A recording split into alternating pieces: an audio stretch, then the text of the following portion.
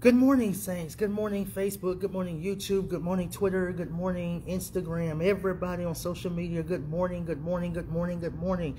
I am your host this morning, uh, senior pastor and founder of the City of Refuge Church, Curtis Alexander. This morning, Saints, I'm, I'm going to talk to you briefly about rediscovering your passion. Rediscovering your passion. We thank God for you watching. We thank God for you participating. We thank God for you this morning. This first day of May, we just received our communion and we thank God for the worship that has went forth. We thank God for the prayers and the light thereof.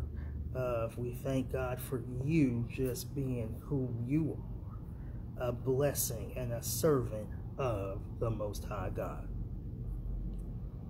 So if you're in house with me this morning, get your Bibles and stand with me.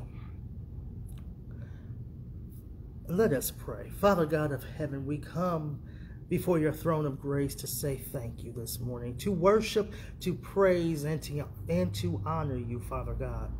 Lord, we just want to say thank you for as we continue in worship, continue in praise, and continue listening to what you have to say to our, to our hearts, to the body of Christ. Sit with us now and become our holy guests as this time does become divine.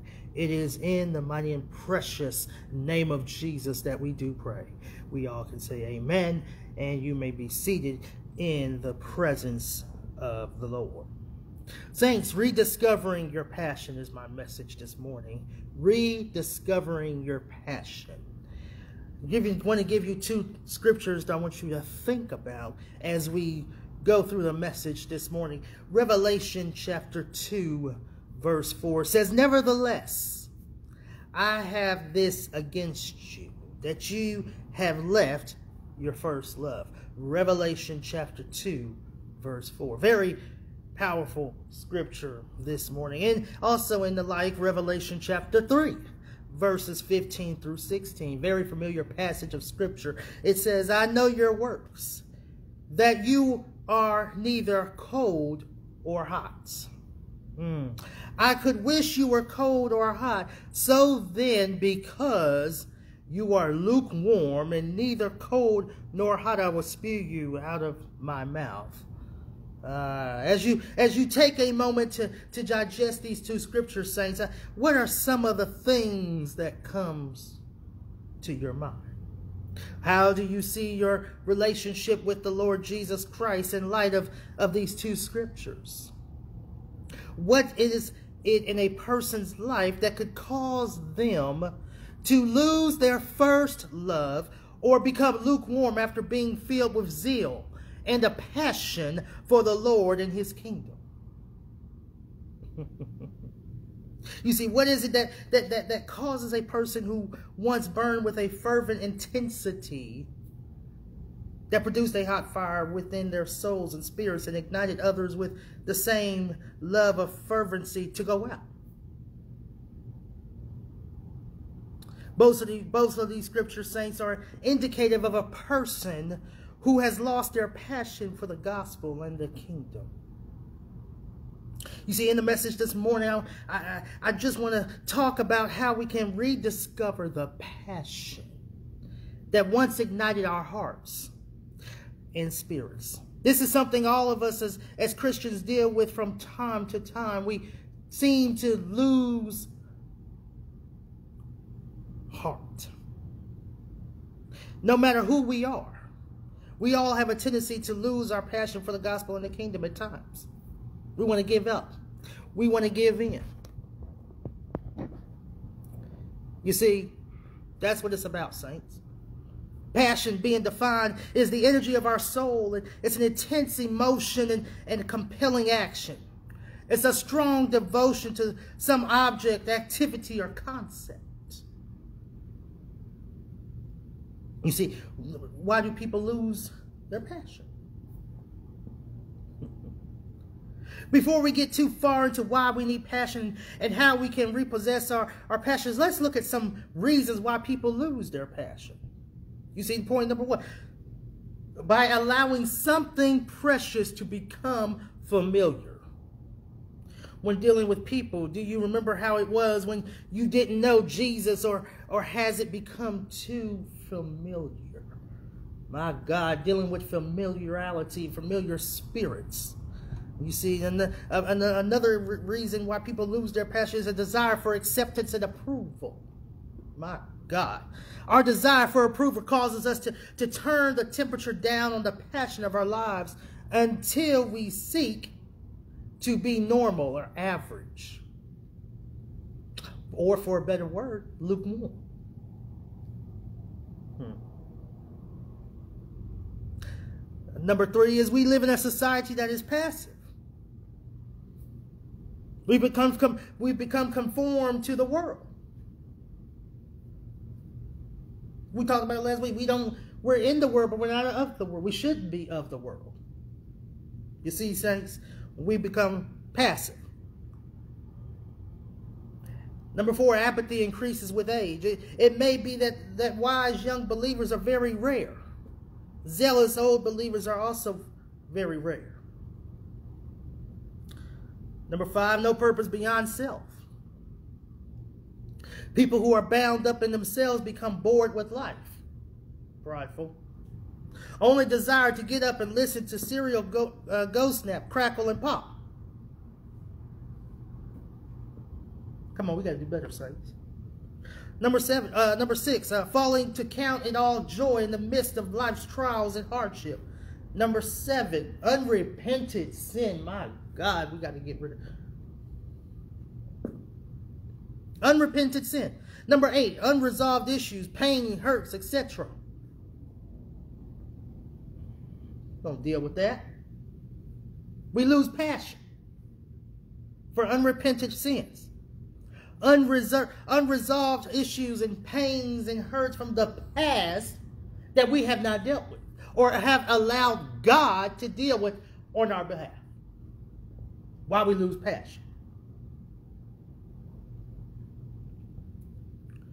You see, says characteristics of a person of a person uh, driven by passion is is goal oriented and, and, and, and a visionary, is a self starter, you know, has a positive attitude, gives 100% all the time, strives for excellence, isn't satisfied with mediocrity, is creative at, at getting things done well no matter what, has a whatever it takes attitude, isn't overcome by obstacles Mm, accepts responsibility.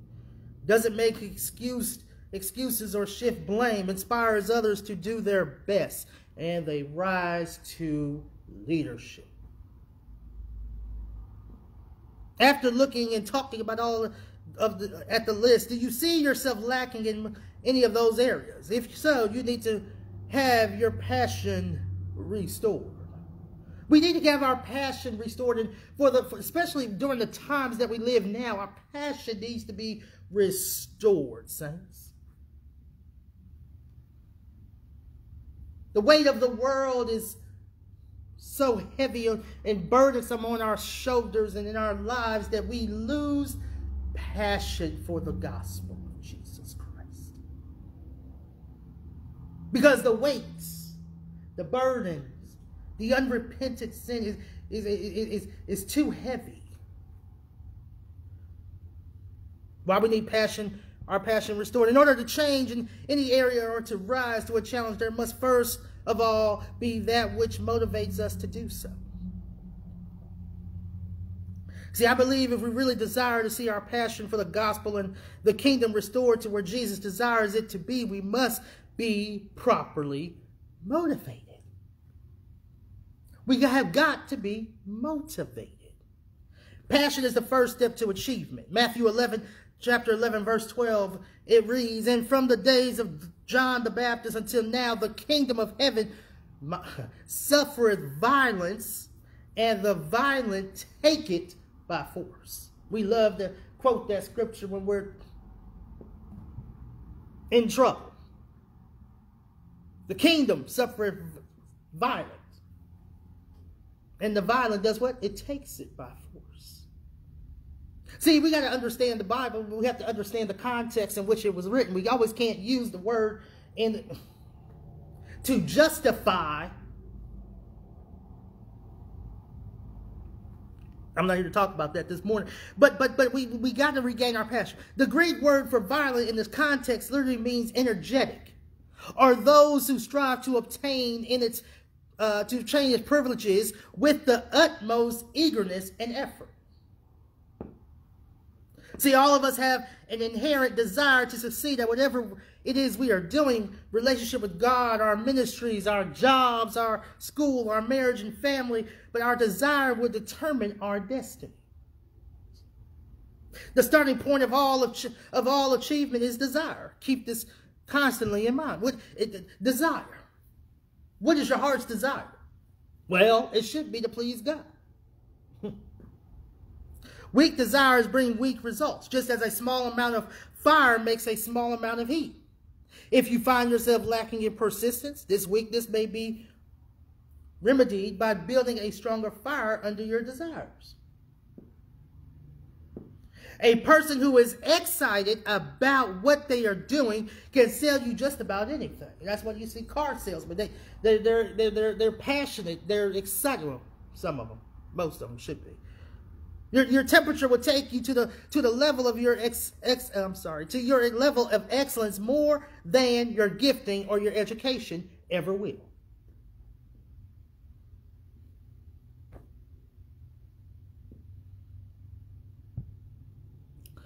I think of the example of both Jesus and the Apostle Paul, two people who accomplished great things in their personal callings. Jesus constantly achieved the desi desired effect that he was looking to.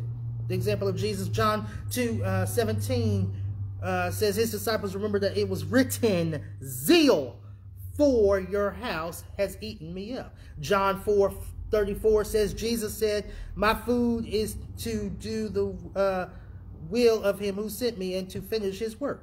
Isaiah chapter 59 verse 17. For he put on righteousness as a breastplate and the helmet of salvation on his head. He put on the garments of vengeance for clothing and was clad with zeal as a cloak. See, we got the examples of Paul. Of one who was driven by passion. Driven by passion. We've got to get back to the passion, saints. Look at all the, uh, uh, the opposition and persecution he faced.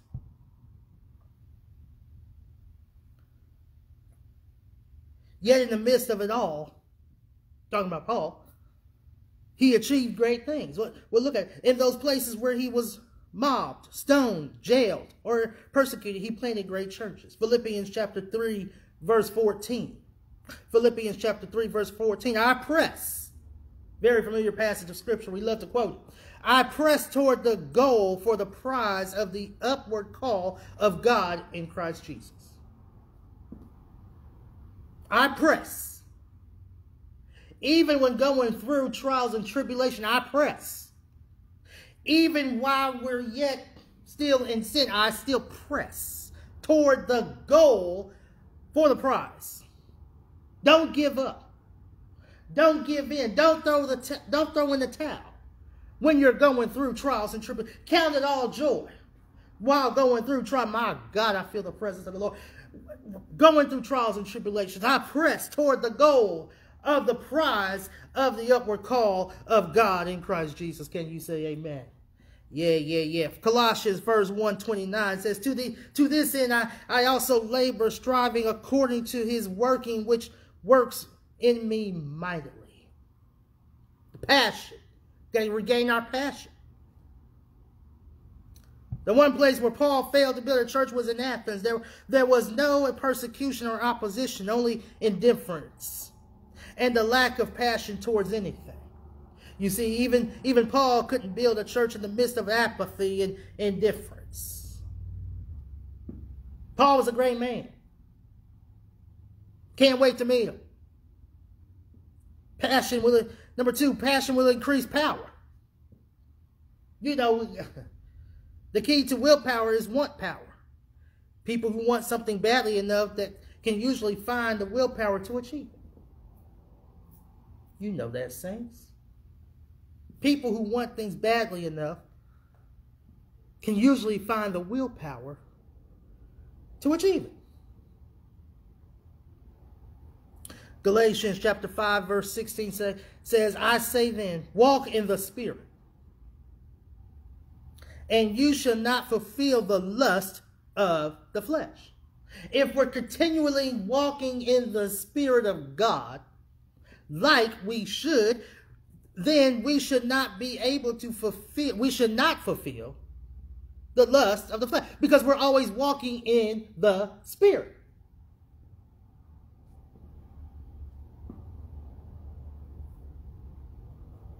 Passion. It increases power. Willpower.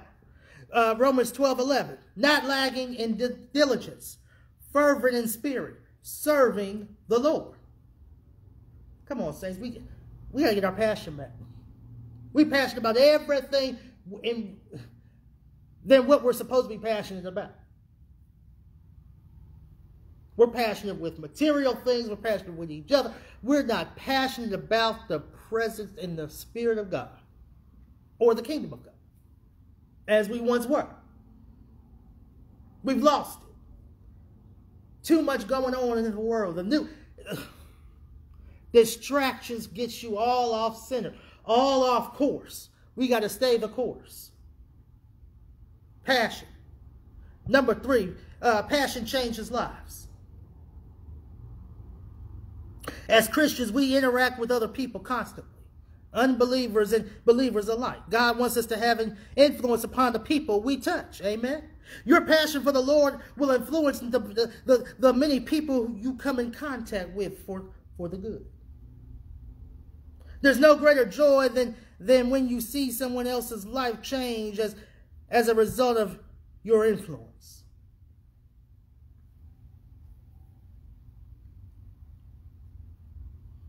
You see, saints, passion. We got to be passionate about the kingdom of God. We got to have that fire, that zeal. We got to re rekindle our passion. Uh, 2 Corinthians chapter 9, verse 2 says, For I know your willingness, about which I boast of you to the Macedonians, that Achaia was ready for a year ago. And your zeal has stirred up the majority. You see, saints, passion changes lives. And the point number four, passion makes impossibilities possible. Passion makes impossibilities possible. Man is so made that whatever Anything fires its soul and possibilities vanish. Passion allows you to see beyond the difficulties and to lay hold of the faith that is needed for impossibilities. Faith. We all know what faith is. Substance of things hoped for. Evidence of things not seen. Come on, we all need the faith. We all need the passion. Again. Philippians 4.13 says, I can do all things through Christ who strengthens me. Yeah, we can do all things, but through Christ who strengthens us. Passion. What is your passion? What is your what is your passion this morning, saints? My passion for God protects me from wrong. It, it will be shown by great desire for personal holiness. It, it will reflect the attitude of Matthew 5, 29 through 30.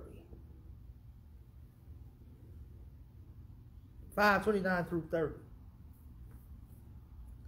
And if your eyes causes you to sin, pluck it out and cast it from you.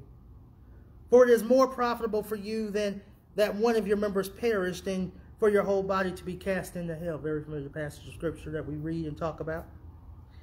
And if your right hand causes you to sin, and cut it off and cast it from you. For it is more profitable for you that one of your members perish than for your whole body to be cast into hell. You see, saints, passion, rediscovering your passion. Coming to a close this morning, but rediscover your passion. Practical steps for rediscovering your passion. No one keeps up his passion automatically. Passion must be nourished with new actions, new aspirations, new efforts, and vision. It is one's own fault if his enthusiasm is gone or lost. He has failed to feed it. So, practical steps, saints, this morning.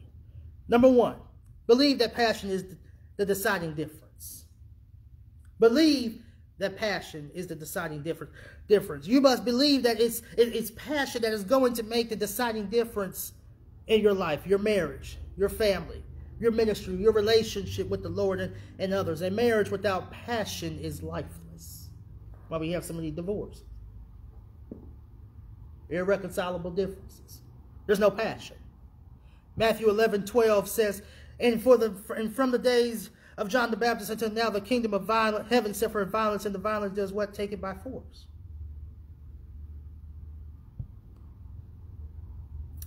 Number two, realize that God's desires passionate believers. Realize that God desires passionate believers. We must understand that being fervent and passionate is automatic is actually a command.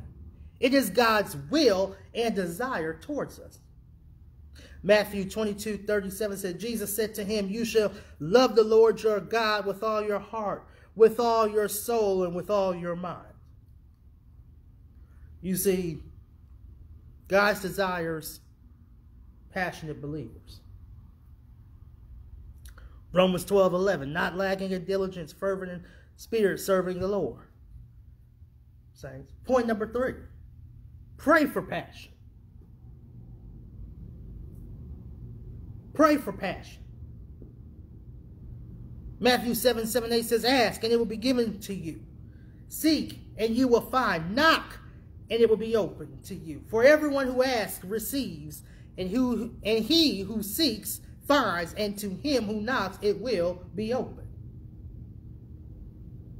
Matthew 7, 11. If then, if you then, being evil, know how to give good gifts to your children, how much more will your Father who is in heaven give good things to those who ask?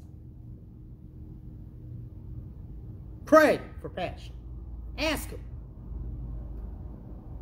Pray for passion. Point number four. Activate your spiritual gifts.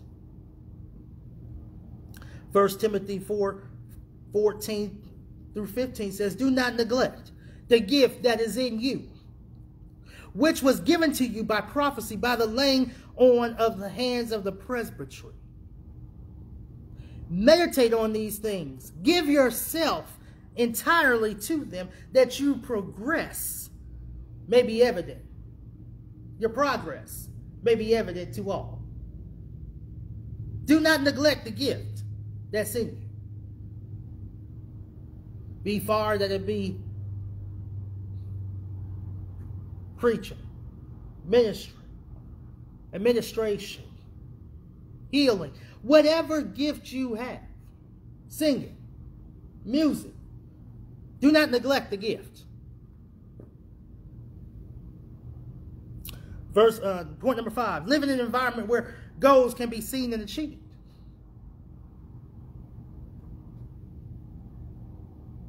physical environment, cognitive environment, social environment, emotional environment, spiritual environment.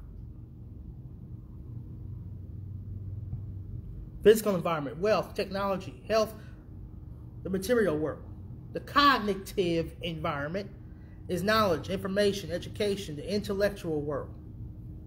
Social environment is the family, is your family, your friends, your neighbors, your church, the social world. your emotional environment, your feelings, your attitudes, the psychological world, spiritual environment, the eternal and transcendent God. Point number six, associate with people of passion. They're out there. There's people passionate about the body of Christ. There's people passionate about the kingdom of God. We need to associate ourselves with those types of people. Surround yourself with passionate people for the kingdom of God. Build relationships. Build friendships with the people that are passionate about the body of Christ and about the kingdom of God. Remember, point number seven, what God has done for you. The children of Israel had just watched the Lord put an interstate highway through the middle of the Red Sea, but felt sure he wasn't up to bring home their supper. They they watched him rain bread over their, their whole camp and then swore up and down he was going to let them die of thirst. So he says maybe that's why Moses exhorted them 17 times in the book of Deuteronomy to remember what the Lord had done for them. Deuteronomy chapter 7 verse 18 says, You shall not be afraid of them, but you shall remember well what the Lord your God did to Pharaoh and to all of Egypt. We have to remember what God has done for us so we can rediscover our passion. We must remember what the Lord God has done for us so we can rediscover our passion. We, we, we, we and you shall remember the, the Lord your God, for it is he who gives you power to get wealth, that he may establish his covenant, which he swore to your fathers as it is this day. Uh, Deuteronomy chapter 8, verse 18. We just read that. Remember what God has done for you.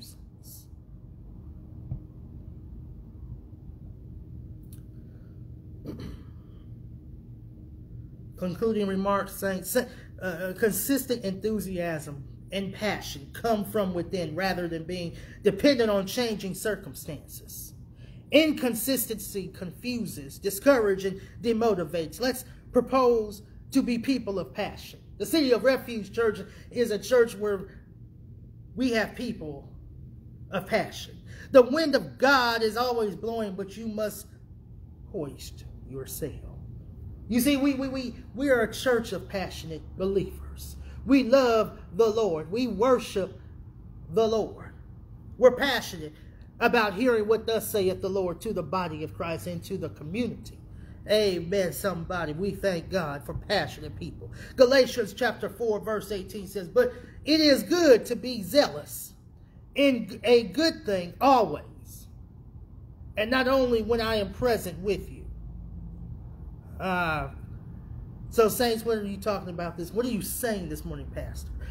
We have got to rediscover our passion in the body of Christ and in the world. We've got to rediscover our passion. We've given you several ways to rediscover your passion. From this day forward, we should not be lacking in passion any longer. Share this message with every believer, everybody you come in contact with about rediscovering their, your passion for the Lord. That's what it's about. On this first Sunday of May, going forward, 22 and beyond. Your passion. Got to have passion. We have passion for everything else. We need passion for the body of Christ. We need passion for the kingdom of God. We need passion for the community to see that the Lord is moving in the midst of our lives. Can you say amen? Rediscovering your passion. Come on, saints, let's give the Lord a hand of praise. We thank God for Him doing us a great work in us. We thank God. Share this message with your family. Share this message with your friends, your coworkers, your enemies, anybody, everybody you come in contact with. Rediscover the passion your passion. That's the message. That's the message. We all need to rediscover our passion. We all lose, may sometimes lose hearts, but we need to rediscover our passion. Amen. Give the Lord a hand of praise. We thank God this morning. Amen. Amen. Y'all be blessed. Have an awesome, blessed week. God loves you. You know, if you never accepted the Lord Jesus Christ as your Lord and Savior, you have the opportunity to get saved. You have the opportunity now to get saved on this first Sunday of May, going into a new year, a new season. You have that opportunity to get saved. If you don't have a church home, you have that opportunity to join with the body of Christ at the City of Refuge Church, by way of the City of Refuge Church. You have that opportunity to, to join. You have that opportunity. If you need prayer, which we all need prayer, we all need to have that passion. You have that opportunity. We have men and women of God who can pray with you, pray for you, agree with you, and believe with you for whatever the need is. Amen. So stand with me as we get ready to dismiss and go out and regain our passion. Share the message. Share your passion. Amen. Father God, we thank you for this time we've gathered and assembled. We, we love you. We want to regain our passion for you, Lord God. We ask that you help us regain our passion for you, Father. We thank God for the message this morning. We thank God. We thank you, Lord, for you speaking through your servant. Now may the grace of our Lord and Savior, Jesus Christ, rest, rule, and abide. Henceforth, now and forever. Your coming out, your lying down, your labor and your leisure to that day where there's no dawn and no sunset. Love on somebody, hug somebody, share your passion this week with the people you come in contact with. God keep you, God bless you. We'll see you live in person next week. Be blessed. Have an awesome, blessed week. Till that time we come back together again, if it be the Lord's will. Have an awesome week. Be blessed.